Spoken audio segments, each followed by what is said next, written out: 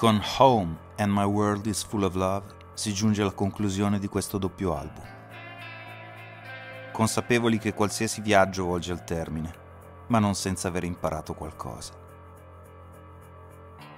Ad esempio, che la creatività può renderci liberi anche durante un lockdown, o che possiamo ritrovarci imprigionati in un mondo libero, annegando nella sua finzione e nella sua plastica. Forse l'unica consapevolezza maturata alla fine di questo lungo viaggio è che la libertà non significa niente, niente, niente senza l'amore.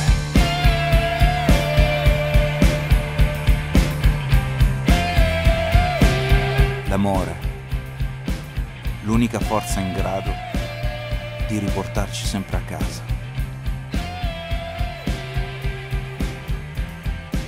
L'amore in quella piccola casa nella prateria,